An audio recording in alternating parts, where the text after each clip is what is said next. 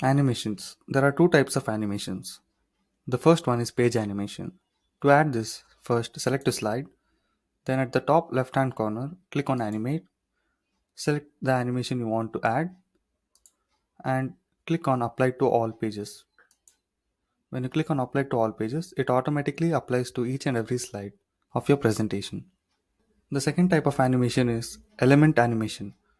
To add this animation, first select your element and again click on the animate option and click on the animation you want to add. You can add it on entrance, that means to enter, or on exit, or both.